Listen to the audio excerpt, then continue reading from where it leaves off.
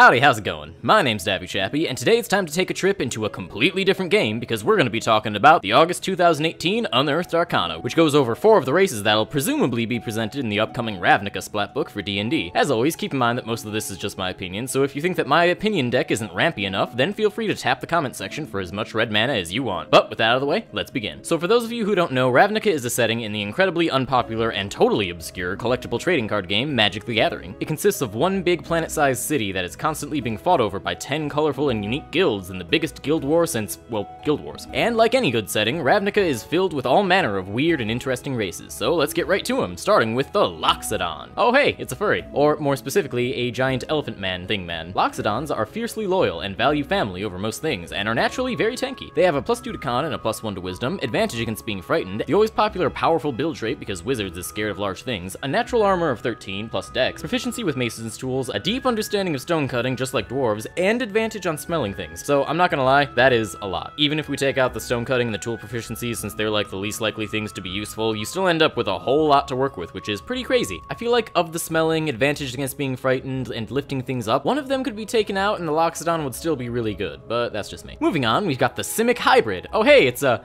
furry. Apparently, some spooky boys decide to play God and start fusing life forms together, so a Simic hybrid is that of a half-human elf or Vedalken, which we'll get to later, and half-animal thing. They get a con bonus of plus 2, and a plus 1 in one other ability score of their choice, as well as dark vision, and then they get to choose some form of mobile animal enhancement, from gliding from one place to another, to getting a climbing speed, to being able to breathe and swim underwater. Then, at level 5, they can either take another movement enhancement, or they can either gain grappling hands, thick skin that gives a plus 1 to non-heavy AC, or glands that allow you to spit acid. See, this race makes me happy because it allows for a greater customization of your race outside of just picking a predetermined subrace. Mixing and matching features is super fun and can lead to some really cool ideas, and I'm glad that Wizards is doing more of it. Next, we have the Vedalken. Oh hey, it's it's something. Vedalken are blue hairless perfectionist people that strive to fix everything that they can get their blue hairless hands on. Naturally, they get an intelligence bonus of 2, as well as a wisdom bonus of 1, advantage on all mental saving throws, proficiency in a tool, as well as either arcana, history, investigation, medicine, performance, or sleight of hand, and when they make a roll with their chosen skill or tool, they add a d4 to the roll. This race is a bit